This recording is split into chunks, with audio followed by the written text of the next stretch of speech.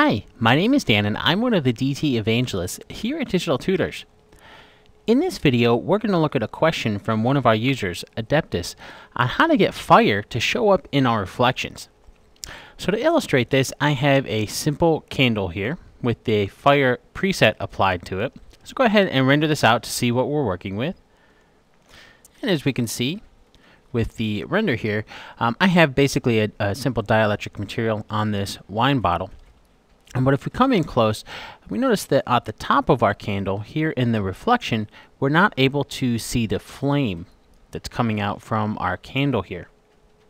Well, the reason for that is that by default, uh, both fluids, which in this particular case are uh, what making up this flame, as well as particles, are set to not be renderable in reflections.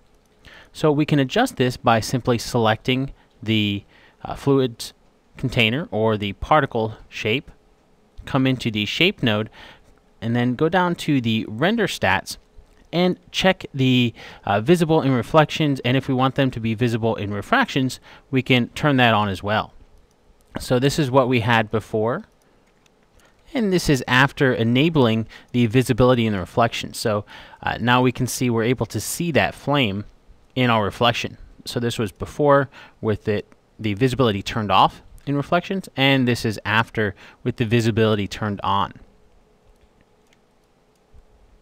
So once again, just as a reminder, um, you, when you're using fluids or particles, by default they're set to not be renderable in reflections. So we can go into the shape node to enable that for our fluids or particles. Now, if you want to learn some more about dynamic effects, I'd recommend checking out the Introduction to Dynamics in Maya course.